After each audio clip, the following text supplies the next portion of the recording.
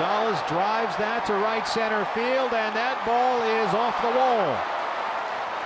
Adam Eaton fields it off the hop, and Gonzalez is out at second base.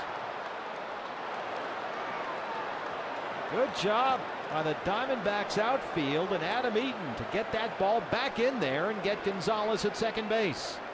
Boy, and a valuable lesson learned from earlier this season. Adam Eaton, you may recall, chased the ball all the way to the wall in center field and ricocheted back toward the infield. This time he realized very quickly he couldn't get to the ball in time to make the catch, so he played the carom perfectly and fires a strike to Didi Gregorius for the out at second base. Nicely done. Just missed a home run there. Plenty of time to get Gonzalez. His speed is not a part of his game.